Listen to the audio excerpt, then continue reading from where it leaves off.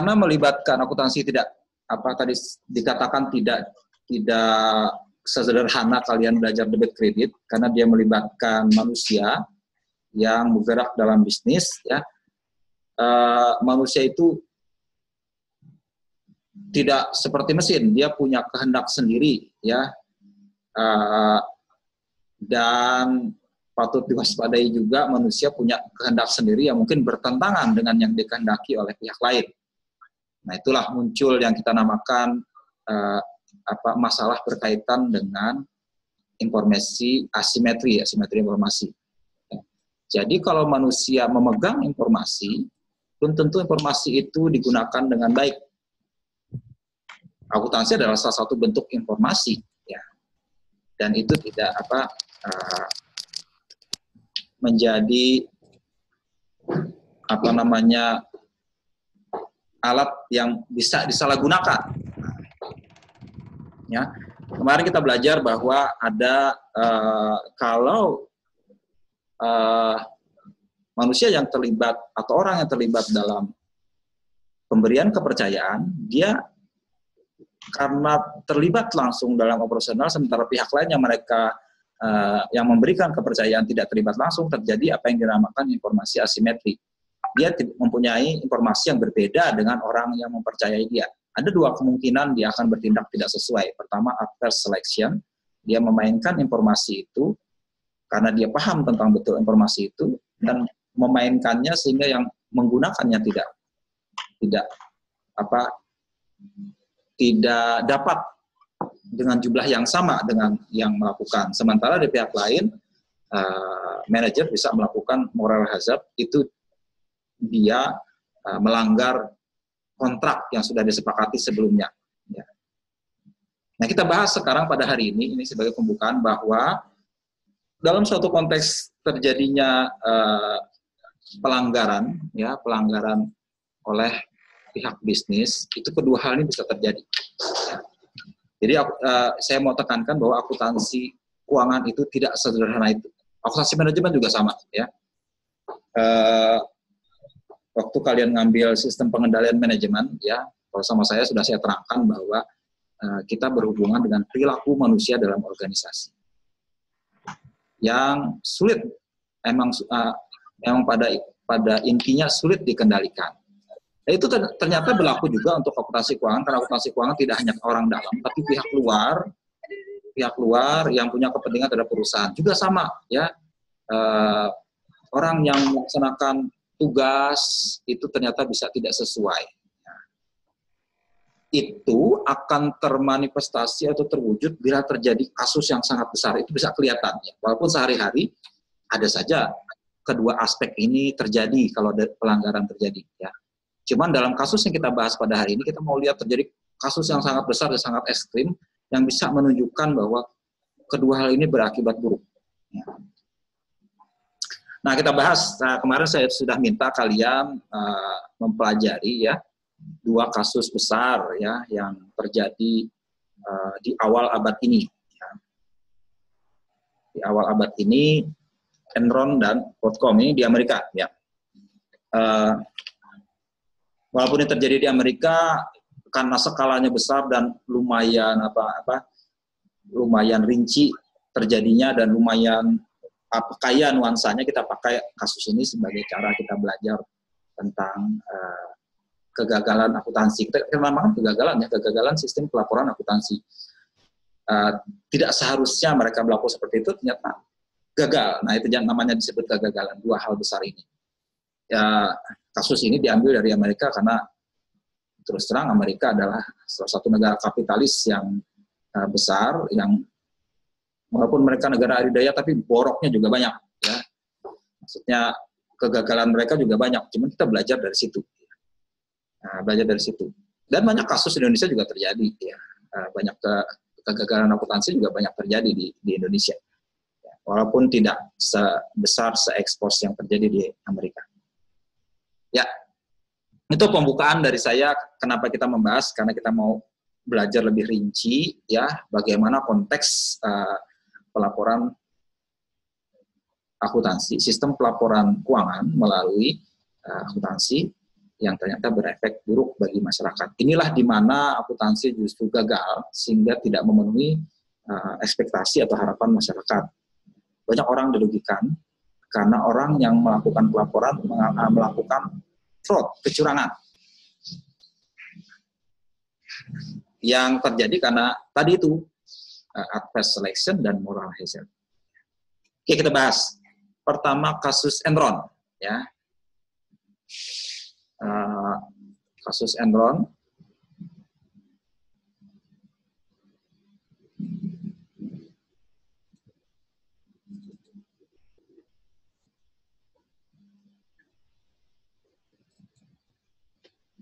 Ini kasus Enron ke khusus kegagalan akuntansi. Nah sekarang saya minta giliran kalian yang uh, apa saling bantu menerangkan apa pemahaman kalian tentang kasus ini ya. Uh, saya minta kalian bikin slide ya. Nanti kita sharing sama-sama di sini. Uh, ini kasusnya seperti apa ya. Apa yang kalian pahami dari sini. Di konteks kita tadi belajar mengenai uh, gagalnya masing-masing pihak menjalankan perannya dalam uh, sistem pelaporan akuntansi. Saya persilahkan siapa yang mau menerangkan kasus Enron yang pertama. Enron yang Enron.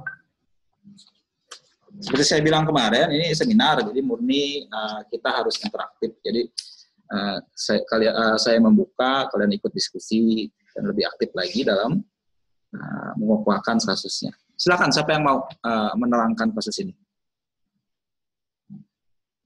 Kasusnya sudah banyak di apa dibahas di media. Kalau kalian buka Google banyak ya penjelasannya seperti apa banyak juga. Saya persilakan siapa yang mau membahas ini. Nggak usah takut ya. Yang lain nanti bantu menerangkan ya atau menanyakan nggak apa-apa. Nanti saya bantu jawab kalau kalian tidak bisa jawab. Ya. Namanya diskusi bebas ya. Nah, silakan. Kemarin siapa yang sudah kirim jawaban ke saya ya? Siapa ya? Saya belum cek kemarin. Siapa yang kirim kemarin jawabannya ke saya? Ada jawabannya kirim ke WA.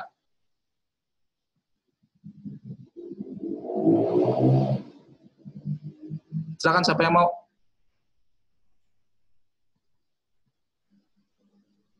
Gedenya kayak Enron. Aku ada, cuman Hmm? Ya, aku ada ada. Kan waninya itu. Ada belum masuk nah. Eh, nunggu meetingnya di di laptop jadi karak nah. Kalau nggak ada yang mau, saya tunjuk nanti.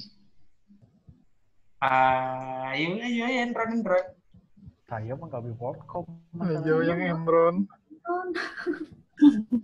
Ya, men-share-nya itu gimana?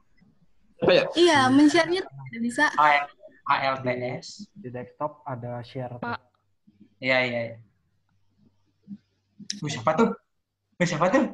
Ya, siapa nih yang mulai? Ismiawati. Ismi. Ya, Ismi. Ismi. Silakan Ismi. Assalamualaikum warahmatullahi wabarakatuh. Waalaikumsalam. Ah, warahmatullahi wabarakatuh. Jadi di sini Agak keras suaranya Ismi. ditunggu Pak. Jadi di sini saya akan menjelaskan mengenai kondisi penyebab perusahaan Enron itu melakukan kecurangan dalam pelaporan akuntansinya.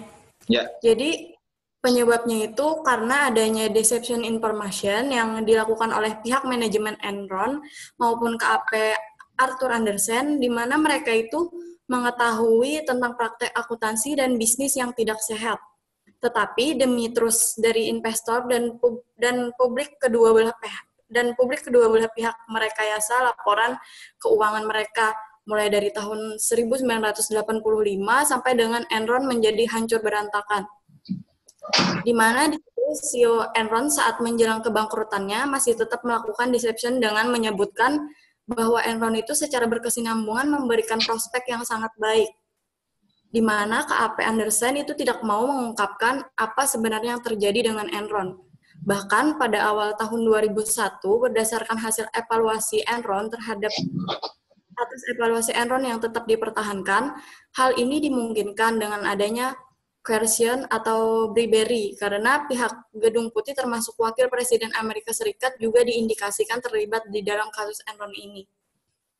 Kemudian, Arthur Andersen ini merupakan kantor akuntan publik The Big Six yang melakukan audit terhadap laporan keuangan Enron, perusahaan Enron, di mana tidak hanya melakukan manipulasi laporan keuangan Enron saja, tetapi KAP Andersen ini juga telah melakukan tindakan yang tidak etis dengan menghancurkan dokumen-dokumen penting yang berkaitan dengan kasus Enron tersebut. Di mana Arthur Andersen ini memusnahkan dokumen pada periode sejak kasus Enron itu mulai mencuat ke permukaan, sampai dengan munculnya panggilan pengadilan. Di mana walaupun penghancuran dokumen tersebut sesuai dengan kebijakan internal Andersen, tetapi kasus ini tetap dianggap melanggar hukum dan menyebabkan kredibilitas dan kredibilitas Arthur Andersen hancur.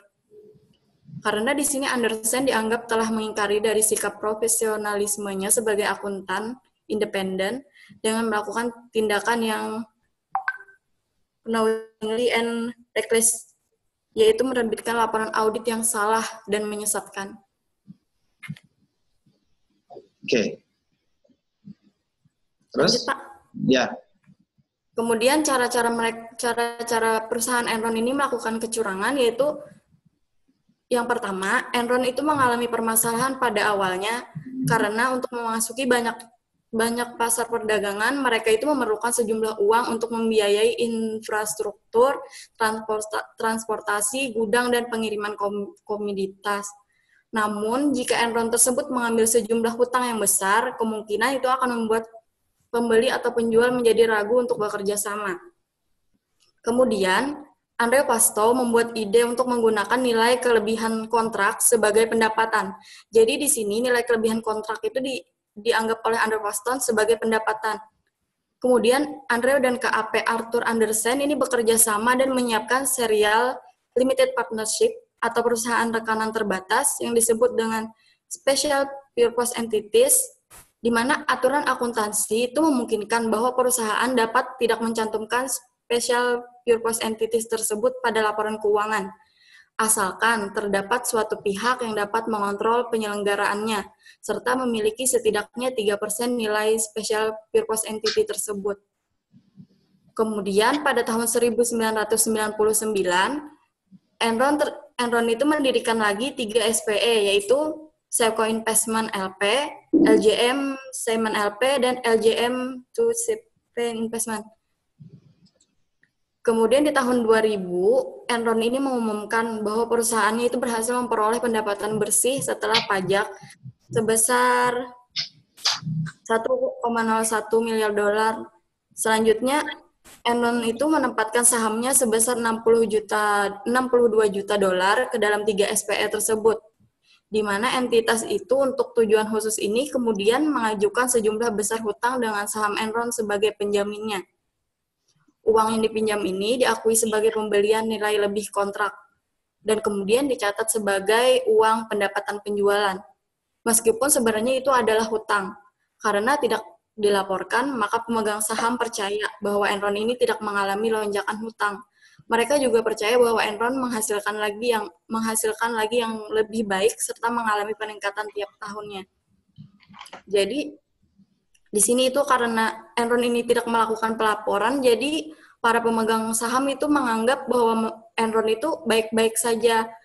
Padahal di balik itu semua mereka banyak menutupi permasalahannya. Kemudian ada Shannon Watkins, wakil presiden yang bekerja di Enron mulai tahun 1993. Dia menyadari bahwa meskipun harga saham yang cukup tinggi itu sehingga nilai lebih dapat digunakan untuk menutupi hutang entitas khusus. Namun ia juga tahu bahwa ketika harga saham turun, maka itu akan memicu tidak solvabelnya entitas dan mengembalikan hutang kepada laporan keuangan Enron. Kemudian setelah pertengahan tahun 2001, harga saham Enron itu menurun kembali dari nilai tertingginya 80 dolar per saham. Akuntan Enron berusaha menarik kembali hutang dan aset pada entitas khusus di mana Sharon Watkin itu khawatir akan peningkatan risiko tersebut. Kemudian pada Juli tahun 2001, harga saham jatuh ke nilai 47 dolar per saham. di mana Jeffrey Skilling secara tiba-tiba mengundurkan diri sebagai presiden dan CEO dengan alasan pribadinya.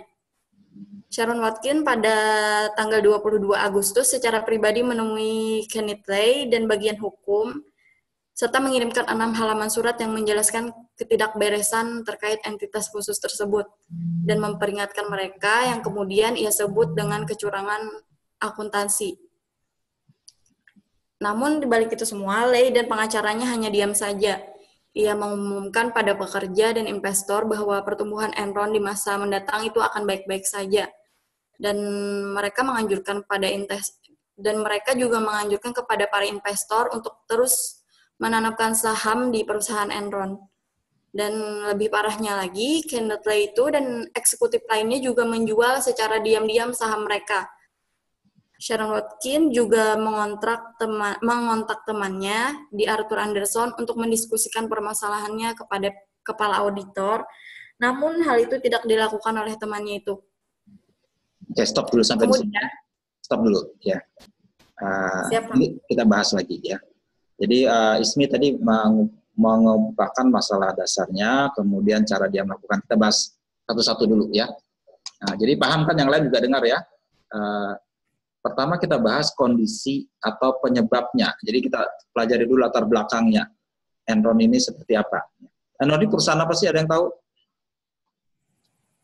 Perusahaan, perusahaan apa? energi, Pak. Energi. Ya. Iya. Dia jual apa? Gas, Pak. Gas. Ya. Kayak tukang jual minyak gas di sini gitu ya? Enggak, Pak. Dia menjual menjual gas alam. Baik ya. gas. Uh, ya gas. Uh, usaha dasarnya sebenarnya jual gas ya kalau di di Amerika di negara maju itu kan gas itu dialirkan sampai ke rumah ya sama seperti kita ini gas langsung ada ke rumah itu uh, sama seperti langganan listrik langganan gas juga ada jadi buat masak di dapur tuh pakai gas atau kalau di negara empat musim pakai gitar, pemanas itu pakai gas. Ya.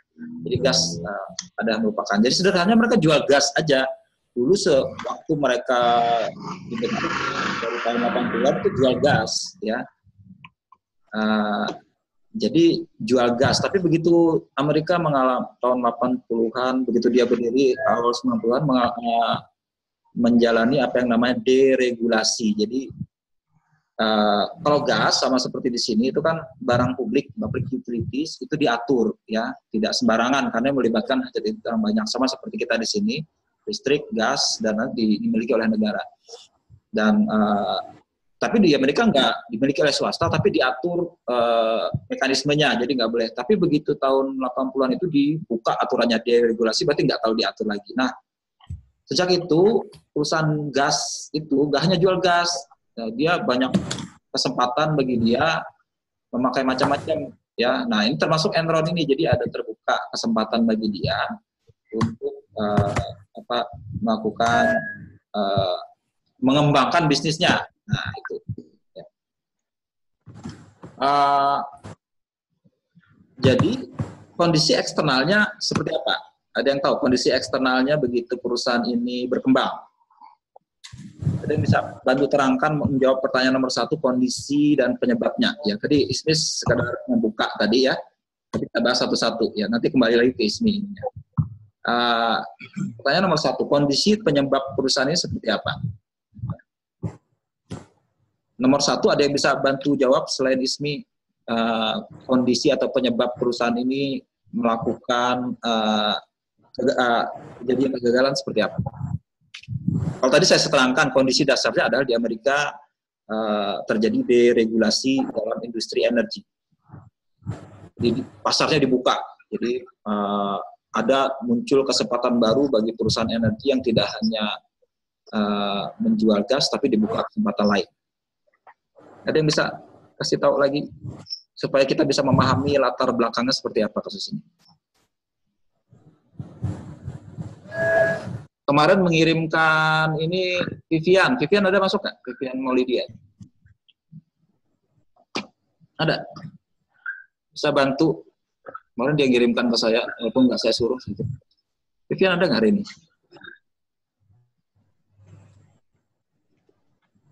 Nggak tahu, Pak. Yuk, sudah masuk apa belum? Ntar nih,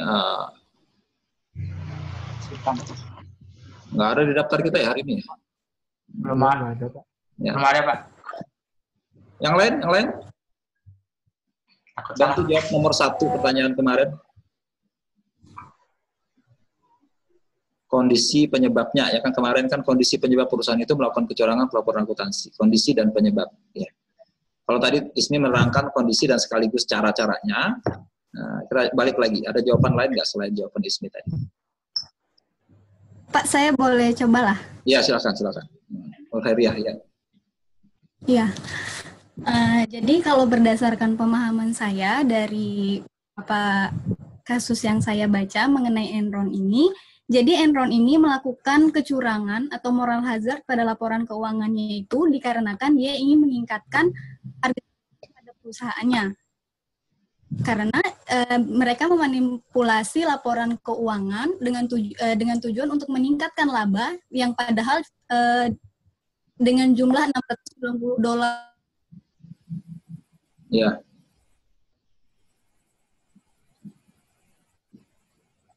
Tersebut secara eh, otomatis harga saham mereka akan terus meningkat. Itu Pak jawaban saya. Jadi demi untuk meningkatkan apa nilai sahamnya gitu ya? Iya. Oke, ada ada tambahan ini tadi meningkatkan nilai sahamnya. Ya. Ada lagi yang bisa bantu?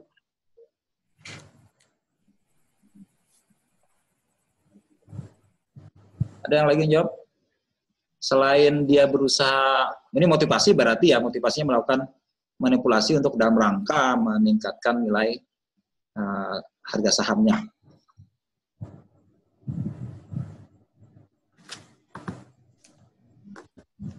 Pak, Ya, silakan. Siapa? kalau di dalam pandangan saya, Pak, Enron ini eh, ingin eh, ingin meminjam uang ke bank, tapi dia tidak ingin mencatat sejumlah hutang itu. Nah, uang ini digunakan untuk apa? Uang ini digunakan untuk membiayai infrastruktur, transportasi, pengiriman, da- dan komoditasnya, Pak.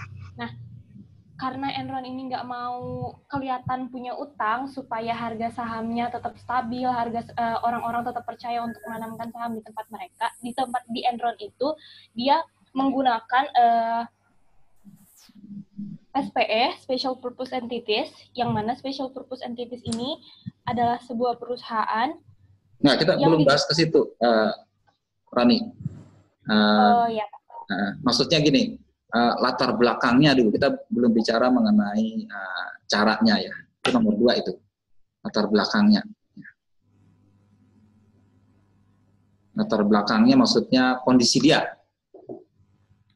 Nanti saya balik lagi ke Megarani caranya tadi tuh. apa, dia me, apa, me- me- mencari uang dengan cara tadi itu me- mencari pinjaman, tapi off balance sheet dalam bahasa Inggris off balance sheet dia tidak mencatat di laporan keuangan gitu.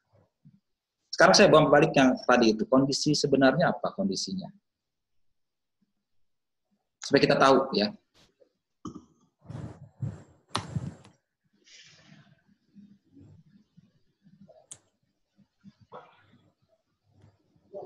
Ada lagi bisa bantu jawab?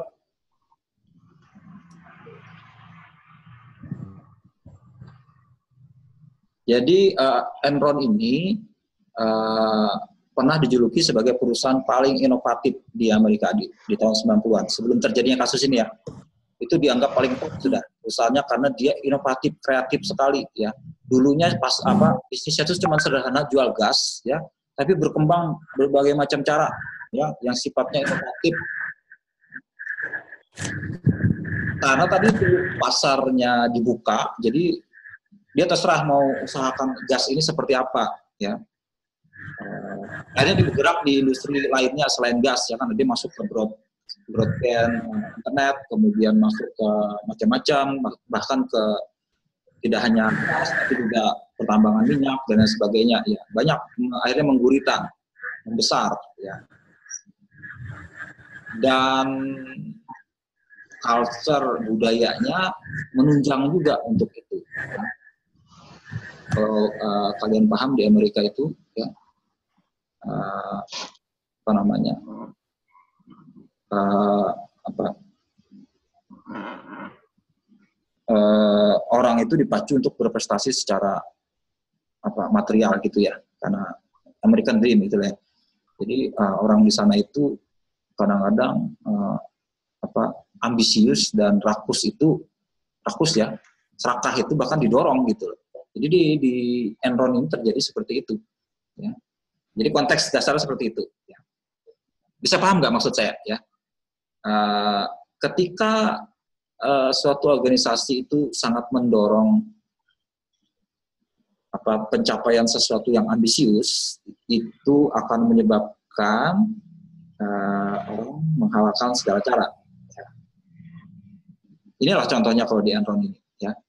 Uh, apa begitu pak ibaratnya seperti orang dulu di kandang ya dulu pak apa pasarnya industri gas ini di, diatur betul-betul seperti kuda yang di kandang ya udah diam aja. Begitu kandangnya dibuka dia lari sana kemari sesuka sukanya ya. Ya ibarat saya ibaratkan seperti itu Enron ini. Lari sesuka sukanya se, uh, se apa apa ibarat orang lepas dari kandang sesuka sukanya gimana gitu. Ini ibaratnya kebablasan dia ini ya. Mana orangnya itu uh, apa culture-nya semacam itu ya. nah ini kondisi penyebabnya bahwa pertama eksternalnya uh, dia didorong untuk mengembangkan bisnisnya. Kedua orangnya ambisius dan uh, serakah grit dalam bahasa Inggrisnya itu. Uh, tadi uh, apa namanya Nur Hairiah tadi bilang ya uh, apa namanya mementingkan nilai nilai saham. Ya benar itu jadi apa uh, apa, nama, apa namanya jadi pendorong buat mereka ya. jadi kalau kita lihat grafiknya ya uh, Enron ini luar biasa ya. Dia berhasil meningkatkan uh, apa nilai sahamnya itu jadi fantastis ya. Mana ya saya sharing uh, apa slide-nya mengenai Enron Bentar, saya sharing uh, gambarnya yang menunjukkan sahamnya itu luar biasa besar.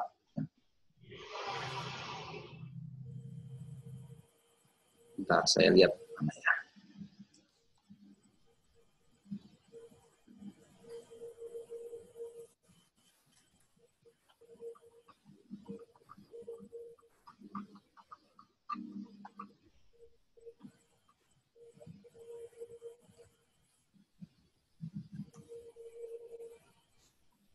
Saya sharing dulu ya saya gantian sharing ini. Mana tadi?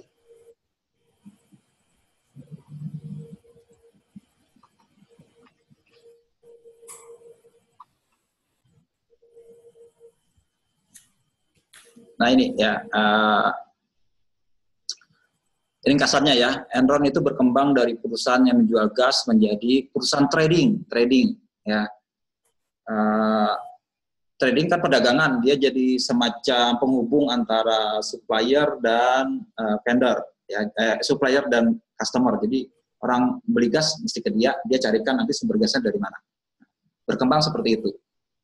Uh, tadi sempat dibilang juga mereka uh, apa banyak berhubungan dengan birokrasi di sana, ya karena itu karena dia berkembang jadi perusahaan yang sangat besar. Bahkan uh, terlibat dalam banyak uh, uh, pasar energi yang besar ya. Itu.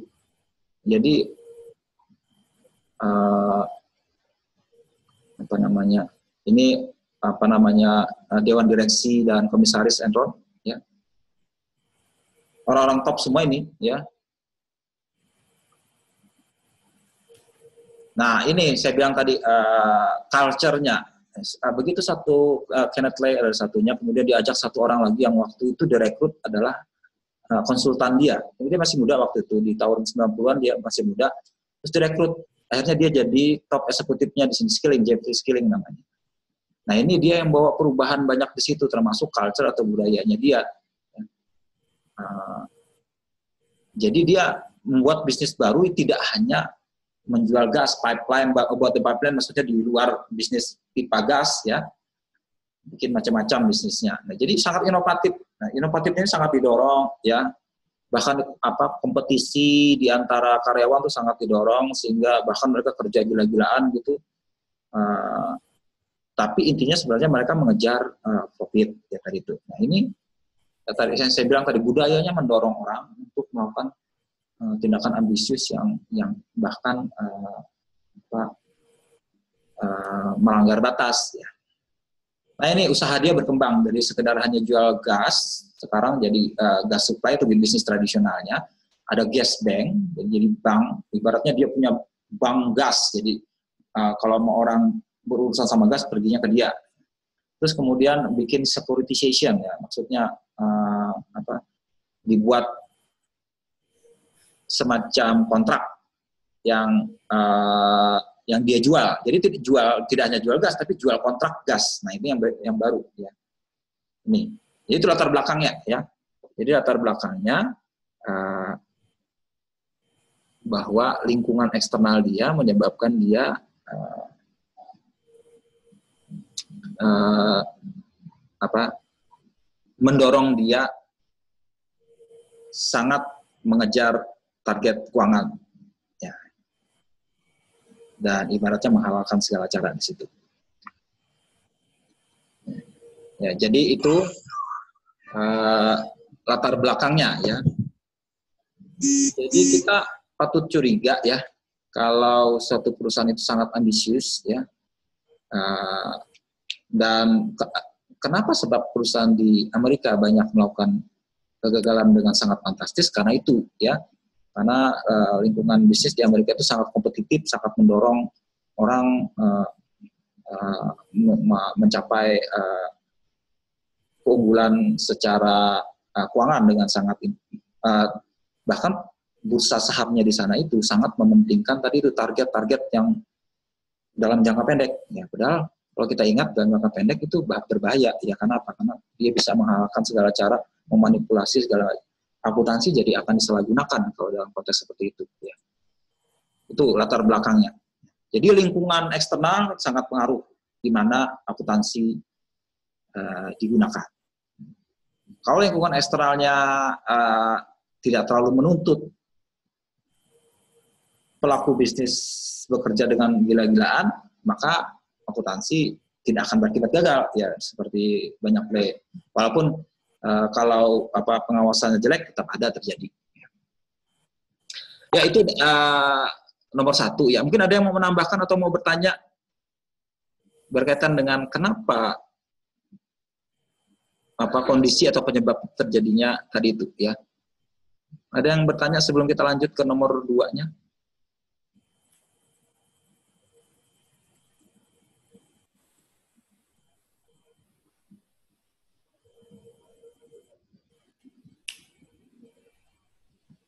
Kalau nggak ada saya balik ke tadi ya ke eh, apa namanya ke konteks kita tadi itu ya nah, balik ke sini ya. Jadi ini ya penyalahgunaan akuntansi untuk kepentingan uh, pribadi atau self interest pribadi itu terjadi kalau lingkungannya sangat mendukung untuk itu ya di mana lingkungan bisnisnya uh, ibarat kuda lepas tadi dibiarkan lepas ya jadi uh, tidak diatur dengan ketat, maka ini akan terjadi, eksesnya akan terjadi seperti ini. Kemudian kalau ternyata budaya itu eksternalnya, kemudian kalau terjadi budaya organisasinya justru uh, mendorong, menjunjung orang, mementingkan dirinya sendiri. Nah itu yang, yang buruk akibatnya ya. Uh, akuntansi harus menyadari itu ya. Jadi uh, nanti kita pelajari ada mekanismenya khusus setelah kejadiannya mekanisme itu biasanya diatur setelah kejadiannya kasus besar ini. Ya, setelah itu banyak diatur bagaimana mengendalikan hal itu jangan terjadi lagi. Ya. Oke itu ya, uh, ngerti ya maksud saya bahwa uh, kondisi eksternal akan menyebabkan ini terjadi. Oke, sekarang kita masuk ke teknisnya tadi caranya ya. Caranya tadi uh, Ismi menerangkan caranya ada macam-macam tadi ya ada pakai uh, kontrak SPI, SPI, kemudian ada yang lain ya. Uh, Ismi ada yang ditambahkan untuk yang caranya selain yang, kamu terangkan tadi? Itu tadi belum selesai, Pak. Ya, silakan lanjutkan lagi ya. Tadi mengenai caranya tadi. Ya. Silakan lanjutkan lagi. Yang tadi. Nah, saya ambil minum sebentar.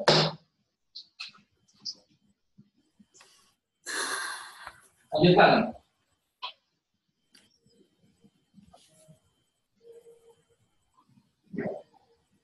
Sampai mana tadi, guys? Nah iya, Am. Tolong. Tadi slide tiga rasanya nih. Ya, lanjutkan tadi yang ya sudah ini ya, lanjutkan.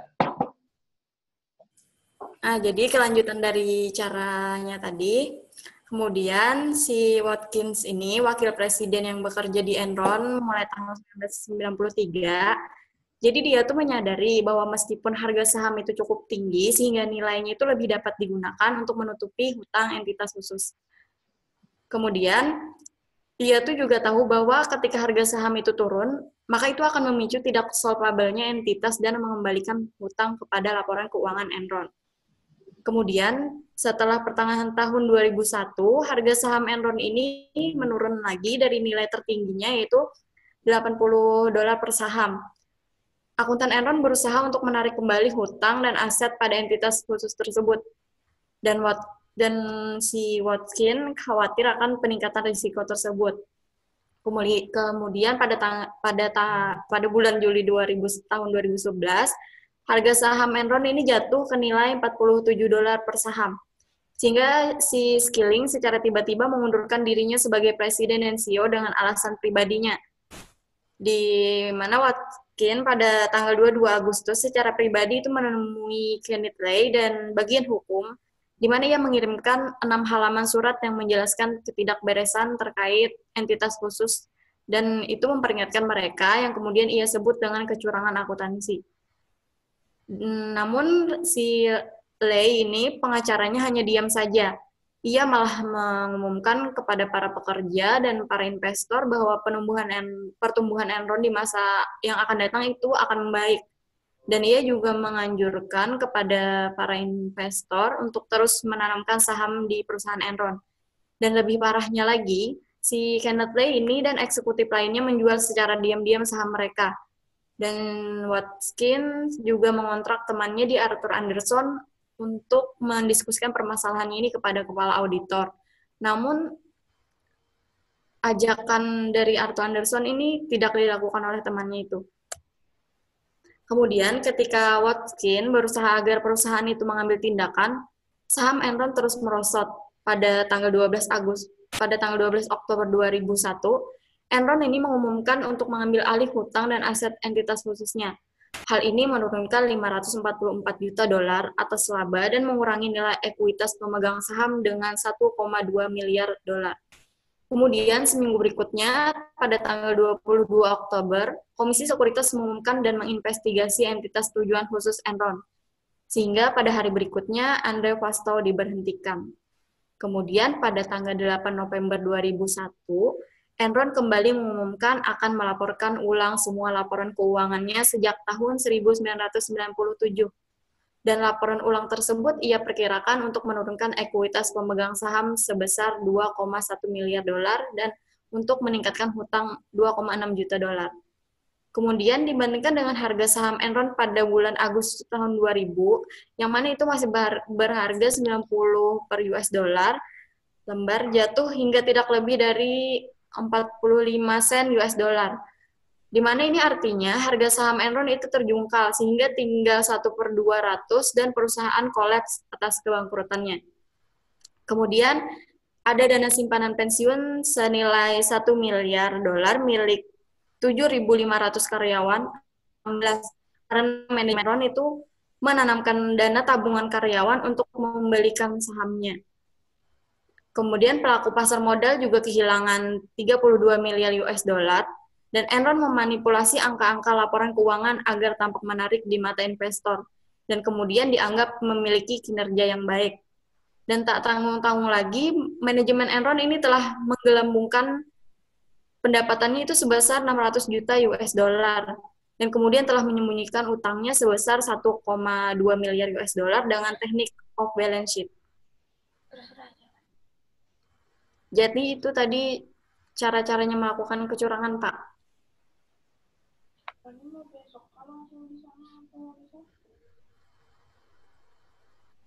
Oke, ya kita bahas satu-satu sekarang cara-caranya ya.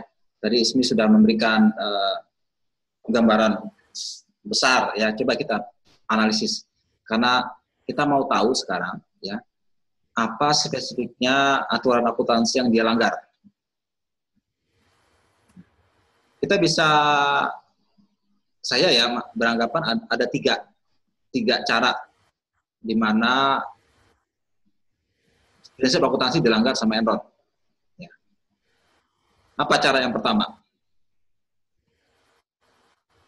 Ada yang tahu? Cara yang pertama dia melakukan tadi sudah disebutkan sama Ismi, sepintas ada tadi juga. Cara dia melanggar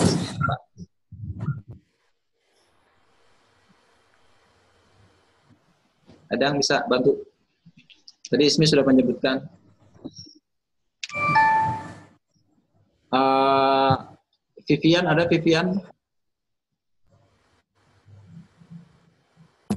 Tadi sudah masuk kayaknya. Karena dia mengirimkan jawaban ke saya. Kalau mengirim jawaban berarti dia sudah mau bertanggung jawabkan jawabannya. Ada Vivian di sini. Tadi kalau nggak salah ada, masuk deh. Ada? Ada, ada. Ya. Tadi telat masuk, Pak. Artinya error keluar masuk kayak ingus aja.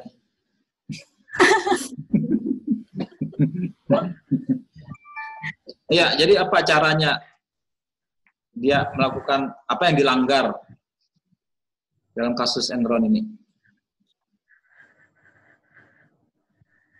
Satu aja sebutkan. Eh, menurut saya kayak mempermainkan harga saham dia, Pak. Maksudnya gimana tuh memperkaya harga saham? Harga saham kan di pasar sana gimana mempermainkannya? Uh, dia dengan menju eh, membeli dia sendiri gitu nah pak. Hmm? Gimana?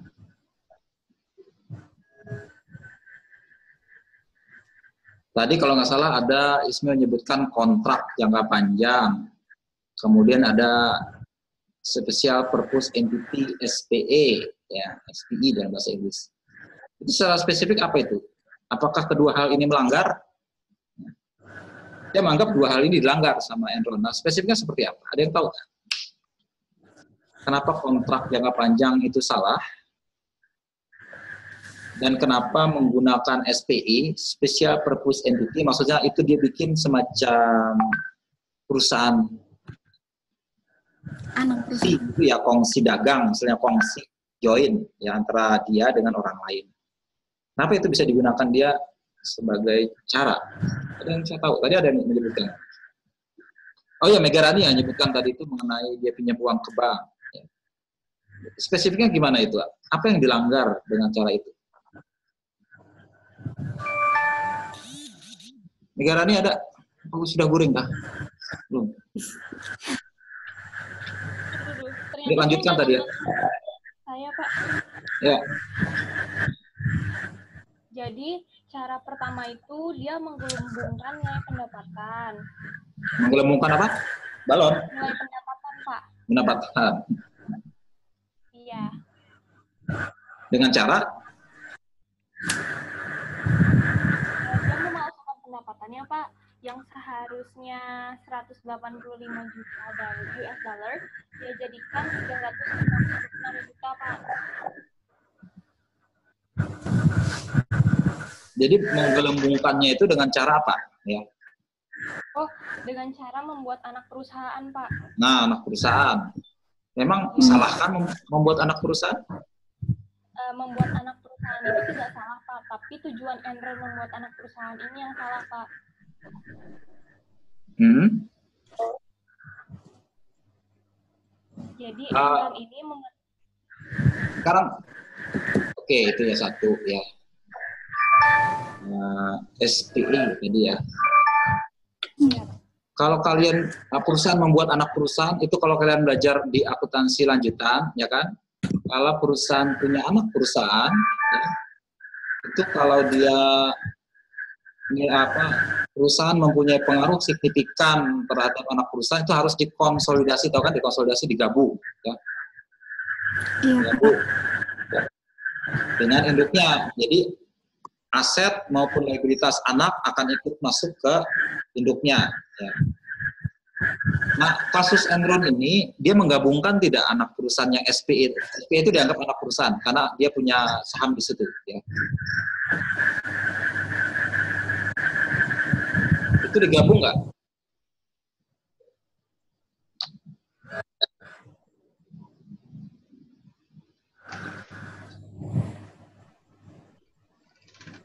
Mana? Nggak salah sebenarnya ya buat anak perusahaan, tapi itu melanggar tidak gitu. Ya. Ada yang tahu jawabannya? Melanggarnya di mana?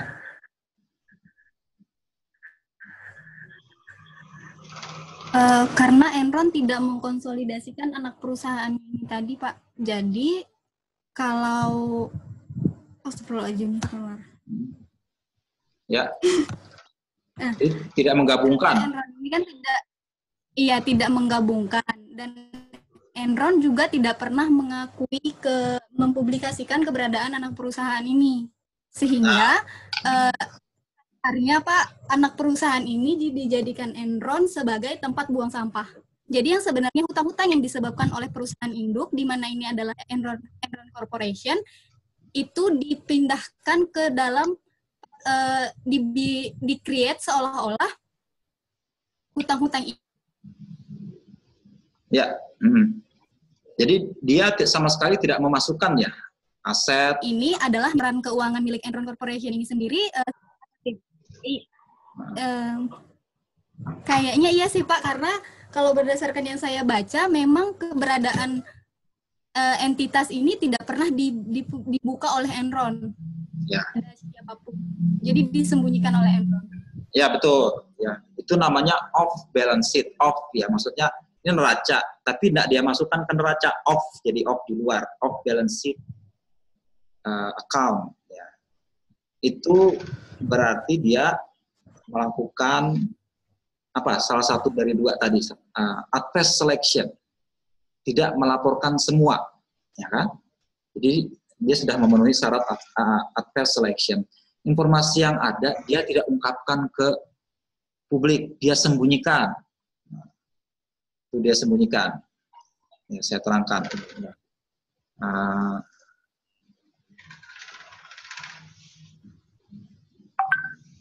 betul jawaban Heriah tadi ya. Jadi secara spesifiknya gini, ya. Uh,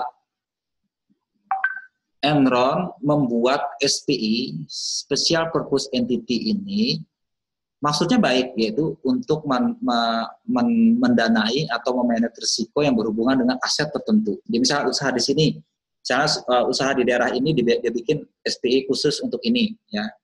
Ini semacam perusahaan cangkang, sel sel yang dibentuk uh, dengan sponsor. Tapi aturan akuntansi mem- mempersyaratkan bahwa perusahaan itu boleh tidak melaporkan. SPI ini asal syaratnya ada pihak lain di luar perusahaan yang menjalankan usaha itu. Dan dia harus punya minimal 3% dari total asetnya debit dan equity-nya. 3% saja jadi kecil saja 3% aneh ya. Eh, ini aturan lama di Amerika ya. Eh, saya pertama waktu belajar kasus Enron ini bingung ya. Saya ini setahu saya kita kan punya 20% ya uh, metode cost dan metode equity, ya kan yang kalian pelajari di akuntansi lanjutan, ya kan? Nah, perusahaan punya apa akan mengkonsolidasi kalau dia punya saham di atas 20%. Ya. Dan perusahaan punya pengaruh uh, signifikan terhadap operasional perusahaan itu harus digabung dengan perusahaan induk. Tapi kalau di- di bawah 20% kita pakai metode cost. Metode cost berarti tidak dikonsolidasikan. Nah, berbeda dengan anak perusahaan, entiti khusus yang ibaratnya tadi yang perusahaan cangkang tadi tidak perusahaan betulan, itu boleh saja 3%. Ya, itu aturan aturan lama. Ya. Nah, uh, Enron benar-benar memakai aturan ini untuk maksud tadi menyembunyikan banyak tadi yang si negara ini cerita dia mau perlu banyak duit nih, cuman dia nggak mau melaporkan utangnya di aset perusahaan di neraca. Caranya gimana? Ini akal maling juga. Udah nggak usah dikasih tahu caranya. Kita kasihkan aja, taruh aja uangnya di sana, dia pinjam duit, asetnya masuk ke kita. Jadi banyak sebagian besar kewajiban Enron itu nggak tercatat, tercatatnya di anak SPE tadi itu, Special Purpose Entity. Ya. Dia dengan alasan tadi yang tiga persen tadi, ya orang lain kok yang itu operasional kan itu bukan kami, kami cuma titip uang dan dia punya uh, apa? Ternyata enggak, dia justru melanggar itu karena apa? Karena yang menjalankan SPE tadi dia dia juga, ya bahkan yang syarat tiga persen sebenarnya nggak ada ya nah itu ya yang yang menyebabkan uh, apa namanya uh, aturannya dilanggar ya. Yang tiga persen itu bahkan si tadi si Ismeti bilang siapa si Pesto itu dia mau operasional atas namanya sendiri ya. Dia dapat fee dari situ ya. Uh, misalnya dia pinjam uang ke bank eh, SP yang pinjam uang ke bank pakai jaminan saham perusahaan, ya sahamnya Enron. Pinjam dong, oh, sahamnya kan tinggi-tinggi banget waktu itu, ya. Harganya tinggi banget, benar-benar protestif lagi jaya-jayanya. Nah ini pinjam uang ke bank, di situ jaminannya pak nih saham Enron, kami punya saham Enron sebesar ini. Oke, kalau gitu dikasih pinjam, nah uangnya dipinjam oleh anak perusahaan, disetorkannya ke Enron sebagai uh, apa namanya uh, aset tertentu dia pinjam. Jadi uh, ke anak perusahaan tadi itu ya. Uh, ke SPE ke Enron itu dicatat sebagai ya apalah gitu loh uh, bukan utang bank tapi semacam aset titipan gitu nah itu jadi dia melanggar prinsip tadi itu ya sehingga sebabnya jadinya uh, neraca neraca Enron jadi kekecilan pinjaman utangnya Sebaliknya, ekuitasnya kebesaran dan labanya juga kebesaran. Ya. Dia mengakui pendapatan dari SPE juga, tapi uh, utangnya nggak dimasukkan. Itu penyalahgunaan prinsip tadi itu, ya dia melanggar di situ. Dia memenuhi satu syarat tadi, dia adverse selection, menyembunyikan informasi kepada masyarakat. Nah, adverse selection. Nomor satu, berkaitan dengan nomor kontrak tadi, ada yang bisa jawab kontrak dia apanya salah?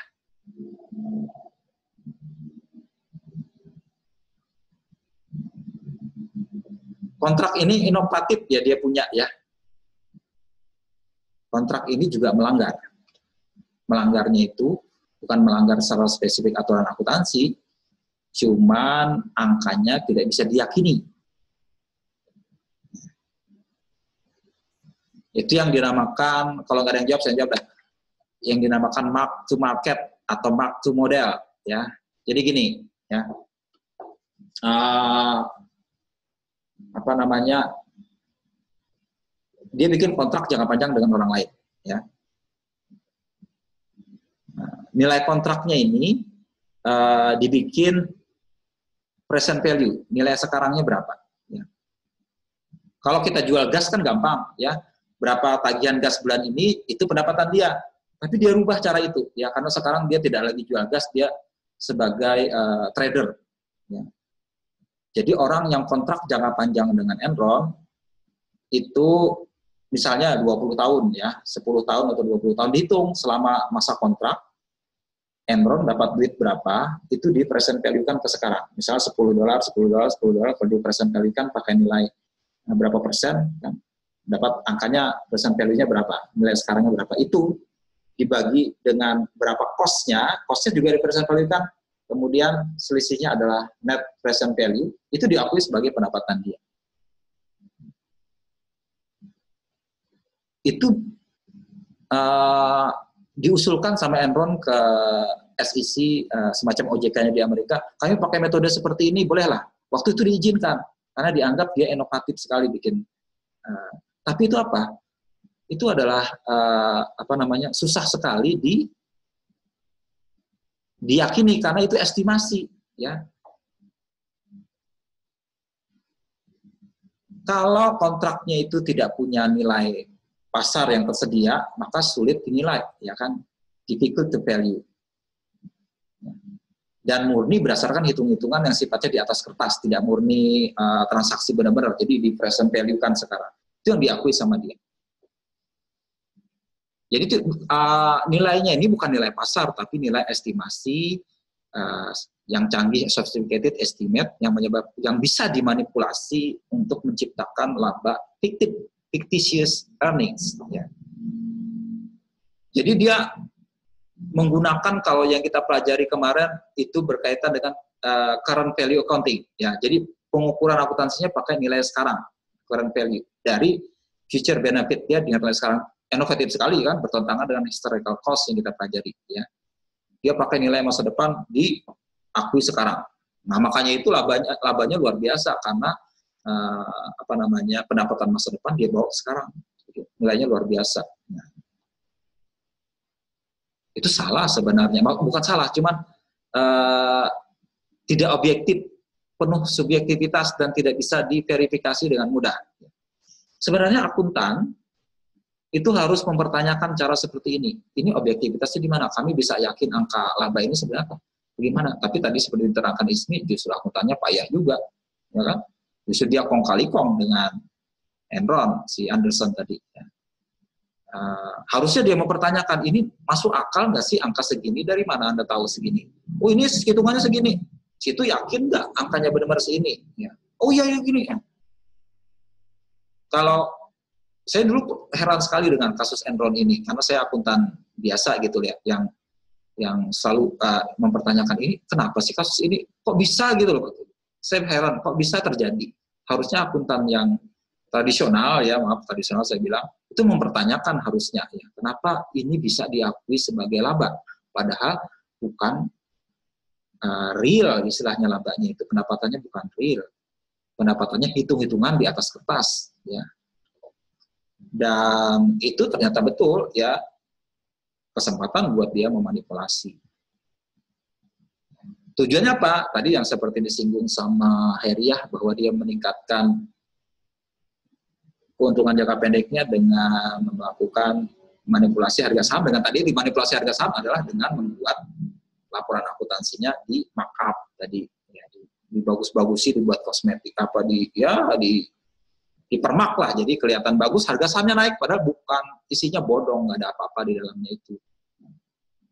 Itu salah satu bentuk moral hazard tadi jadi dua aspek ini terlanggar sudah di kasus Enron ini ya uh, atas selection waktu dia menyembunyikan aset dia, liabilitas dia dengan melakukan SPE, kemudian moral hazard juga dengan membuat uh, pendapatan dan laba yang tidak real, ya, tidak real, fiktif.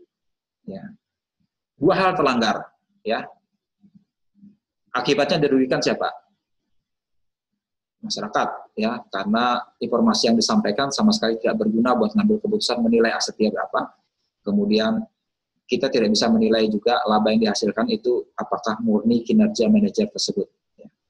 ternyata kinerja dia isinya manipulasi. Kita tidak bisa nilai kerja kerjanya bagus apa tidak. Ya. Bisa ya dipahami ya bahwa dua hal iya. ini dilanggar dengan kasus Enron ini dia memanipulasi penyembunyian informasi sekaligus memanipulasi untuk meningkatkan kinerja dia. Bukan main sebenarnya kasus ini ya. Jadi uh, makanya ini jadi pelajaran besar di dunia bisnis bahwa kedua aspek ini sekaligus dilanggar. Uh, kemudian uh, pertanyaan nomor tiga itu caranya ya, yang sederhana tadi itu ya uh, apa uh, berkaitan dengan uh, cara dia ya. Sebenarnya ada cara yang lain juga. Jadi maksud model tadi memanipulasi ya karena dia pakai uh, angka uh, estimasi. Uh, sedangkan yang kedua dia pakai SPE buat menyembunyikan utang dia sekaligus melakukan manipulasi laba juga di situ ya kemudian hal ketiga adalah macam-macam berkaitan dengan uh, Pak berkaitan dengan penggelembungan aset tadi di ada yang menggelembungkan aset itu di mana? Macam-macam caranya dia mem- membuat misalnya eh, apa menjual saham perusahaan itu diperlakukan sebagai piutang. Aneh juga ya.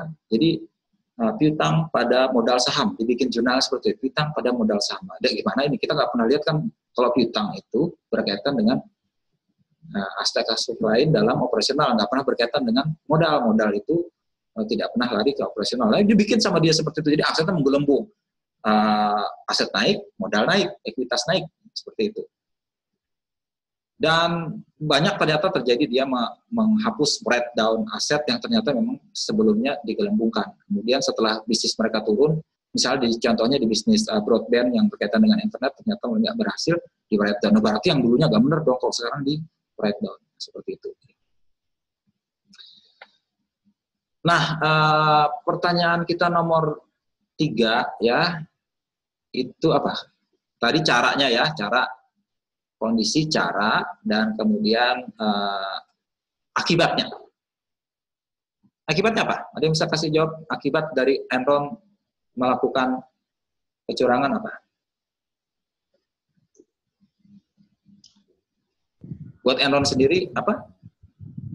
Enron sendiri bangkrut apa gimana? Bangkrut. Bangkrut. Bangkrut. Bangkrut ya? Bangkrut, Pak. Ya, perusahaan sendiri bangkrut. Si investor yang punya sahamnya Rugi, Pak.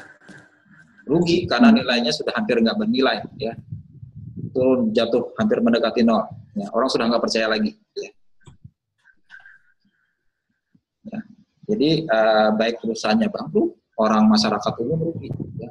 kalau di Amerika itu banyak perusahaan itu menanamkan modal beli saham itu eh, berasal dari dana pensiun ya jadi buat pekerja-pekerja itu kan dia menabung saban bulan dipotong sekian persen itu untuk dana pensiun pensiun ya retirement fund ya. untuk nanti begitu dia pensiun uang itu bisa digunakan untuk membayar dia hidup dia begitu pensiun Nah, itu dicicil tiap bulan ya Indonesia juga sama di eh, BPJS tenaga kerjaan itu kan sama jam swasta itu ada metode pensiun atau perusahaan bikin dana pensiun sendiri ya dana pensiun eh, lembaga keuangan yang di bank atau bikin dana pensiun sendiri. Yang intinya adalah perusahaan uh, karyawan menyicil pensiunnya dengan dipotong saban bulan. Nah, kemudian perusahaan dana pensiun tadi memutar uangnya dengan beli saham di pasar modal. Bayangin yang dulu nilainya se- 80 dolar satu lembar saham, sekarang harganya hampir sekian sen.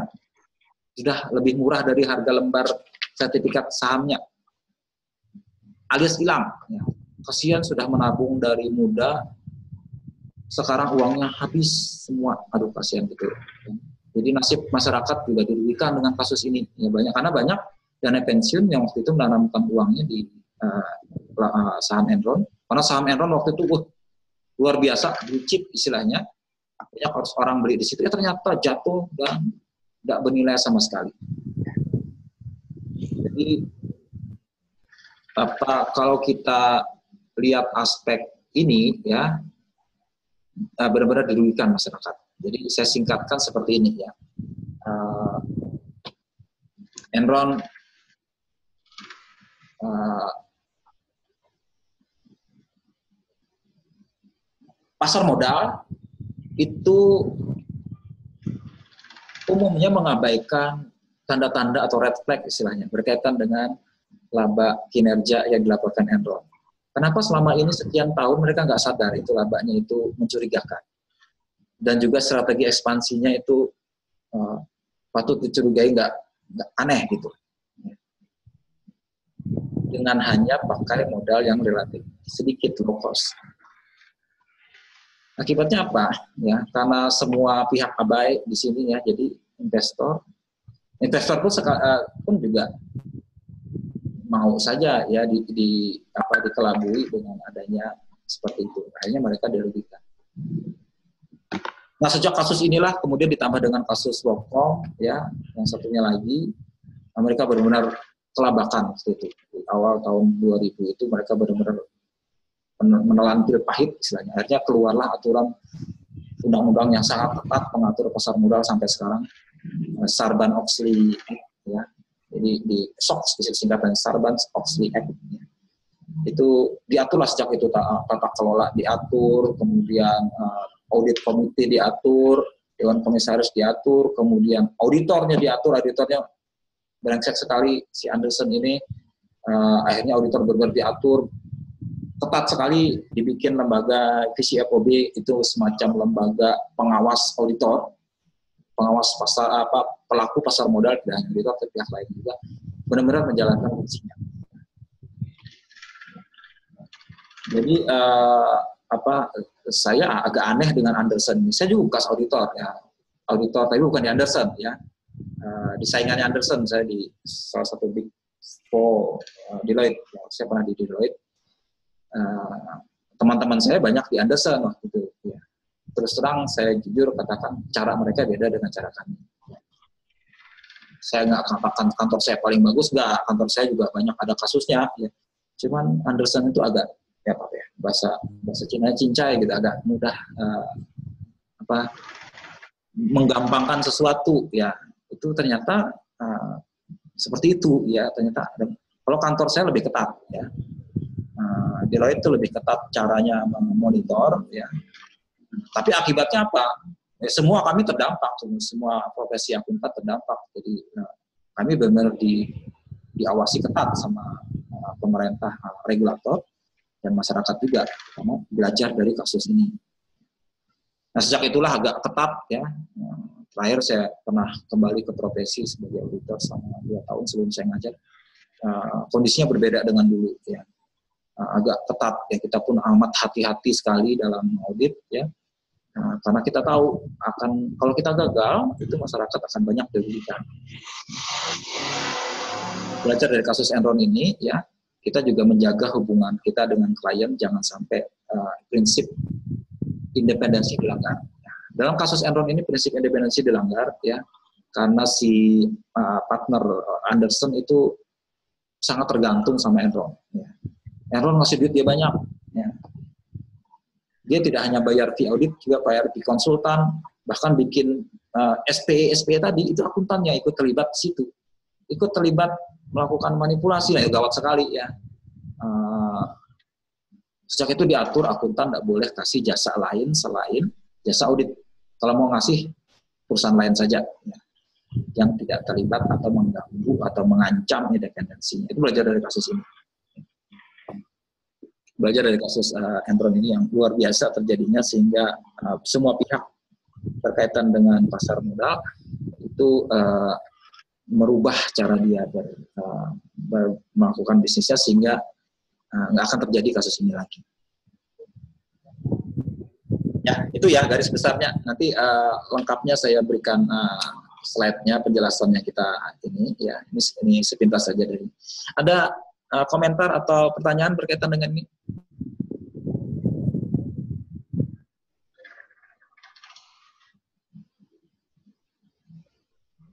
Belum saya tutup ada komentar ya. Habis ini kalian kirim ya uh, jawaban kalian yang tadi ya. Jadi yang presentasi cuma Ismi, terus yang lain menambahkan, yang lain diam saja. Tapi tetap saya minta uh, yang lain mengirimkan uh, apa jawabannya. Nanti saya kasih tahu terma mana ngirimnya. Jangan kirim ke WA saya, WA saya sudah penuh sekali. Uh, jangan kirim ke WA saya, cuman nanti saya kasih linknya ke mana ya uh, kemungkinan saya suruh uh, kirim ke Nueva saya punya Nueva. Saya buka uh, apa uh, satu slot untuk mata kuliah seminar di Nueva. Ya. Mungkin yang pernah ikut kuliah saya, saya uh, semester ini pakai uh, platform Nueva, jadi di situ yang mengirimkannya ke situ. Nanti saya kasih tahu di, di WA grup ya, ke mana ngirimnya nanti atau kalian masuk ke Nueva nanti baru bisa uh, upload jawabannya ke saya. Uh, nanti saya nilai, ya kemudian nanti setelah itu saya kirim versi saya seperti apa. Dari situ kalian perbaiki sendiri nanti seperti apa versi kalian, versi saya. Tapi inti sebagian besar sudah terangkan hari ini ya. Itu kalian uh, perbaiki lagi dengan jawaban saya tadi. Oke, ada pertanyaan sebelum saya akhiri? Ya, jadi eh, apa namanya? Saya kira sebalik ini kita melanjutkan yang saya terangkan minggu lalu ya. Eh, apa namanya? berkaitan dengan terjadinya informasi asimetri dalam kasus yang sangat ekstrim ya. Nah, muaranya muaranya nanti adalah pihak regulator memperbaiki eh, memperbaiki eh, pengaturannya maupun dengan standar setting yang memediasi masalah ini. Tadi masalah ini dilanggar ya, masalah di bawah juga dilanggar, maka standar setting. Ada aturan mengenai uh, pengakuan SPE dan ada diatur kemudian. Tidak lagi pakai prinsip 3% beberapa orang fix SPE itu dilihat dulu berapa persen. Nanti ada aturan lanjutannya setelah itu. Orang belajar dari kasus ini kemudian diubahnya cara. Ya ada pertanyaan uh, apa namanya uh, nanti saya sharing ini ya uh, jawaban ini. Kemudian saya janji kemarin untuk ganti hari Selasa saya ada uh, video rekaman dan saya coba bikin ya besok ya. Terus hari Selasa nanti itu saya undang teman saya untuk melakukan kuliah tamu. Ya. Uh, tapi sebelum kuliah saya berikan bahannya ya. Jadi uh, sebelum kuliah minggu depan saya berikan bahannya. Uh, jadi begitu Ibu Citra, Ibu Citra namanya nanti uh, kuliah kita, memberikan kuliah kita, kalian ada bahan yang kalian pelajari kalau perlu kalian uh, ikut membahas nantinya, berikan pertanyaan dan sebagainya, mumpung ada ahlinya. Saya mengajak beliau, beliau adalah uh, ahli akuntansi keuangan berkaitan dengan tata kelola dan manajemen laba. Ya. Terus Enron ini kan manajemen laba ya, labanya di manage, bahkan laba uh, manajemen laba yang sangat ekstrim sehingga menyebabkan uh, fraud, kecurangan laporan keuangan. Nah, saya mau ajak beliau diskusi di hari Selasa minggu depan. Kalau nggak hari Selasa, hari Kamis ya. Mudah hari Selasa saya. Nanti saya kasih tahu di itu. Ya. Saya ajak beliau uh, diskusi karena beliau disertasinya khusus mengenai ini. Saya pikir beliau pakarnya. Ya. Saya sendiri bukan pakar berkaitan dengan akuntansi keuangan. Saya ahli di uh, audit dan sistem informasi, tidak di akuntansi keuangan. Ya. Tapi supaya mengimbangi kekurangan saya, saya ngajak beliau untuk uh, kuliah di, kuliah di uh, seminar kita. Nah, saya akan uh, briefing beliau bahwa saya sudah menerangkan mengenai ini, saya sudah kasih kasusnya, nanti beliau akan memberikan penjelasan lebih lanjut mengenai bagaimana mengatasi atau mengatur mekanisme pelaporan keuangan sehingga tidak terjadi kasus seperti ini. Seperti apa aturannya sejak kasus Enron sampai dengan sekarang. Kita bahas nanti di, di minggu depan. Oke, ada komentar sebelum saya akhiri?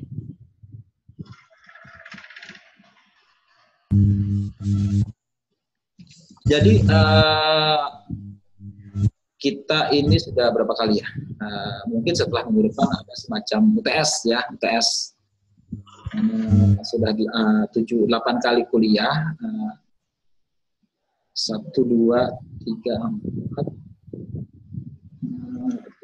Eh, mungkin minggu depannya lagi ya, dua minggu lagi kita ada UTS sedikit ya. Eh, nanti kita dari bahannya dari minggu-minggu ini juga. Dari bahannya sudah kita pelajari. Oke, ada komentar? Saya mau tanya boleh? Ya, silakan. Uh, ini kan ada uh, saya kan ya kan kalau yang pet.com ya pak. Di oh ya.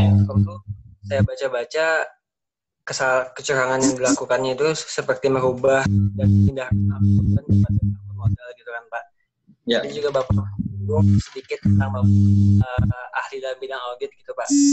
Dan dari audit sendiri menentukan dan melihat kecurangan yang dilakukan sebuah perusahaan masukan laporan keuangan itu biasanya dilihat dari sisi mananya Pak? Maksudnya Pak? dari segi audit Pak untuk menentukan perusahaan itu melakukan di perkembangannya bisa dilihat dari sisi, sisi mananya? Oh, kalau kasus eh, ini kita nggak sempat bahas kasus WorldCom ya. WorldCom itu beda sedikit dengan Enron, tapi sama saja dia melakukan manipulasi laporan keuangan. Cuman bedanya di WorldCom itu dia memanipulasi uh, beban bebannya itu di kapitalisasi. Tahu kan misalnya beban bunga, beban eh, praoperasi dan sebagainya itu bisa dianggap sebagai aset, tidak langsung dibebankan ya. Tidak langsung dibebankan. Kemudian akibatnya apa? Meningkatkan aset tapi mengurangi beban. Jadi laba naik, aset tidak naik. Nah, caranya seperti itu. Kemudian dia juga bikin semacam pengakuan pendapatan eh, pendapatan terima di muka, ya itu kan masuk ke bagian kredit kan. Nah, kemudian eh, diturunkan nanti tiap periode diakui diakui sebagai pendapatan. Nah, itu dibikin-bikin seperti itu. Jadi eh, melanggar eh, apa? Melanggar prinsip standar akuntansi harusnya kan kalau beban itu eh, apa namanya eh, terjadi akui saja. Kan sebagai prinsip konservatif beban harus diakui sekarang. Ya nggak usah ditunda pengakuannya. Akui aja sekarang. Dia ditunda nanti dulu ngakuinya ditahan-tahan dulu. Nah baca seperti itu. Jadi itu yang kasus Welcome ya. Uh, kita nggak sempat bahas kan waktunya pendek ya. Nah, itu kasus seperti itu ya. Kalau kamu menanya bagaimana auditor melacak itu auditor harus sekali lagi berpegang pada prinsip akuntansi ya standar akuntansi kita harus paham betul ya untuk biasanya pengalaman saya bahwa kita harus mempelajari uh, kebijakan akuntansinya seperti apa, ya kan? Nah, dalam audit biasanya kita pelajari standar uh, kebijakan akuntansinya menyimpang tidak dari standar akuntansi keuangan. Ya. Misalnya pengakuan aset, pengakuan beban seperti apa. Ya. Misalnya tadi ada beban kalau kasus welcome ada beban diakui sebagai aset. Ini kok aneh begini caranya kan. Makanya akuntan harus paham betul tentang standar akuntansi keuangan yang diakui seperti apa, yang tidak seperti apa. Ya. Dalam kasus Enron uh, boleh dikonsolidasikan angkanya berapa. Nah. Uh, atau kita lari ke nature spesifiknya, kenapa dia nggak boleh ngakui, padahal dia punya apa pihak lain tidak ber, anu, apa tidak punya peran signifikan Enron yang pernah sama harusnya dikonsolidasi ke Enron. Ya. Jadi uh, kalau nanyakan bagaimana auditor tahu itu, itu pertama harus paham dulu standar akuntansi keuangan. Ya. Kedua, ya uh, apa namanya kita lihat lingkungan bisnisnya secara umum seperti apa. Ya. Understanding client business istilahnya. Kita paham betul klien seperti apa. Dalam kasus Enron terus terang auditornya karena paham. Ya. Karena Enron bikin canggih-canggih menutupi segala macam itu padahal uh, apa itu dikelabui saja. Dia bikin sesuatu yang kompleks segala macam sulit diaudit akhirnya di auditornya nyerah nggak mau lagi bisa mengauditnya itu kan salah juga. Uh, apa namanya hmm, uh, auditor supaya paham dia harus paham betul bisnis kliennya seperti apa jadi persyaratannya paham standar akuntansi keuangan ya. Terus paham bisnis klien seperti apa bisnis si uh, yang berjalan ya. Pahami bujur uh, belajar betul-betul dia seperti apa. Saya bahkan dulu ya kalau mempelajari bisnis saya harus turun ke bawah ke bisnis dia di, di sampai level paling bawah kita harus ikut karena saya waktu itu uh, dalam proses yang tadi saya manajer nggak mau turun anak buah saya saya suruh tolong pelajari yang di sana seperti apa Terus kamu bikin catatannya seperti apa, nanti di kantor kita diskusi seperti apa. Supaya saya paham. Oh begini, oh begini, oh begini. Halo? Sorry, keputus. Tinggi banget, Bapak. Uh, eh, HP saya tiap satu giga dia akan mati. oh iya, Pak. Tiap satu giga habis dia akan mati. Uh, itu tadi ya syaratnya tadi harus paham akuntansi keuangan, paham uh, apa bisnis klien, terus paham uh, risiko, risiko yang dihadapi apa uh, pemahaman bisnis klien juga harus paham risikonya apa. Nah dari situ setelah itu harus paham bagaimana kita uh, mencari informasi atau bukti yang uh, apa informasi atau bukti yang digunakan sebagai dasar kita mengambil pertimbangan atau keputusan berkaitan dengan uh, pendapat atau opini kita. Nah, itu. Kita nggak bisa paham saja, tapi harus ada buktinya. Buktinya harus dalam kasus Enron, Enron itu Anderson itu akhirnya bubar karena dia apa? Dia menghancurkan semua bukti audit berkaitan dengan Enron. Itu salah besar. dia nggak mau terlibat sama Anderson dihapus dibakar semua file berkaitan dengan Enron itu salah kan akhirnya dia dituntut sama pengadilan menghancurkan bukti hukum. Salah juga. Ya, ya ngerti ya Arif ya? Ya. Ya. Ada pertanyaan lagi? Pak saya mau bertanya Pak. Ya Pak bisa lah Pak misalnya eh, sistem pengelola perusahaan tuh mencegah mencegah masalah pada Enron atau menyelesaikan masalah sebelum terjadinya krisis. internal perusahaan ya Iya. internal perusahaan itu eh, agak terbatas ya Eh, apa namanya eh, kalau kita belajar audit dan sistem informasi itu kalau dari internal harus punya sistem pengendalian internal ya kan SPI sistem pengendalian internal yang sangat baik ya sehingga mencegah hal itu terjadi cuman pengendalian internal itu harus di bawah direksi. Nah kalau direksinya juga kayak kasus Enron itu kayak begitu, bawahnya juga salah juga ya.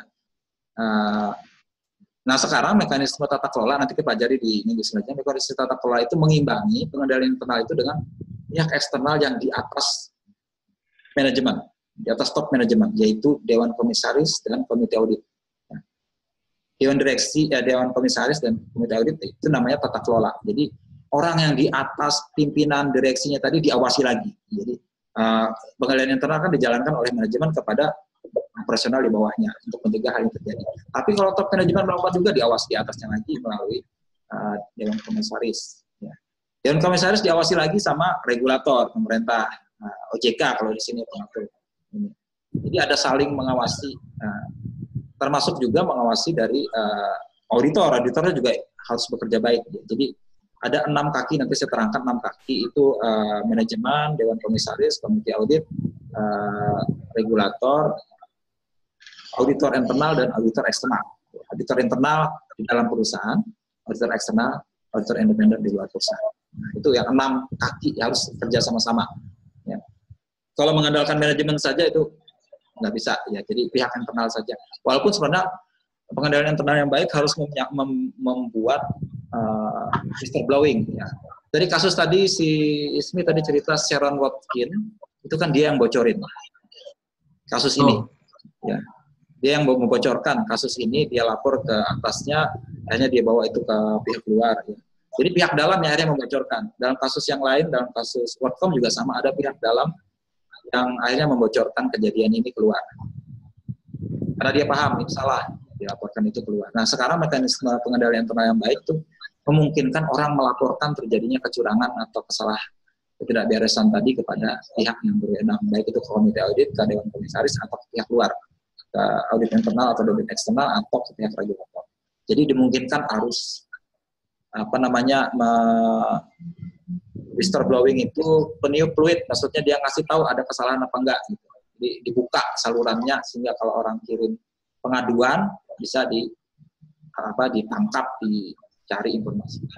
Whistleblowing istilahnya nanti diterangkan di uh, minggu selanjutnya berkaitan dengan tata kelola setelah kejadian ini kan tata kelolanya harus diatur. Ya. Kejadian ini tidak bisa diatasi oleh orang internal perusahaan, ya. apalagi kalau melibatkan pimpinan di atasnya. Harus ada orang yang di luar dia yang ikut saling mengawasi. Masyarakat juga saling mengawasi, ya masyarakat. Pemegang sahamnya ikut mengawasi, masyarakat umum, media, wartawan, atau pihak uh, pemegang saham yang aktif bisa ikut mengawasi. Kasus Garuda kemarin itu dibongkar karena pemegang sahamnya curiga. Ya, kasus Garuda, pemegang sahamnya kan selain pemerintah ada pihak uh, perusahaannya Transmart itu, dia salah satu pemegang saham di Garuda. Dia yang curiga, laporan keuangan Garuda mencurigakan, saya nggak mau terima katanya. Itu karena pemegang sahamnya aktif melakukan perannya. Jadi terbongkarlah bahwa Garuda melakukan mirip melakukan e Ya, dia mengakui mengkapitalisasi pendapatan masa depan ke masa sekarang sehingga pendapatannya menggelembung. Nanti kita bahas kasus lain lagi. Uh, ini uh, kasus lain lagi dalam negeri. Ya. Tahun kemarin barusan tahun 2019. Ya. uh, kasus Garuda juga memanipulasi lapangan pekerjaan.